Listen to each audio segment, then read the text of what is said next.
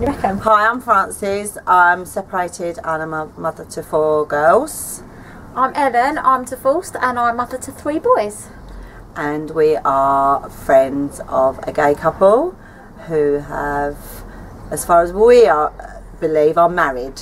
They are married. We think they're married, but they're not, according to the law. And that's why we are here to tell you why we think the law should be changed. Yes, then. Definitely. we think it should be changed because they clearly love each other. Their marriage has lasted longer than my marriage did. So why can't they have the same rights as a normal couple? They are a normal. They are a normal couple. So they should be able to have a normal marriage and a normal wedding and a normal family and a normal life. Yeah, yeah. That, there's no difference between the way they live their lives to how I lived my life with my husband and my children. They, there's nothing different apart from they are both the same sex. The children are being brought up exactly the same way as my children were brought up. Um, And a happy, loving family. yeah, which is what it's all about. You know, that's it.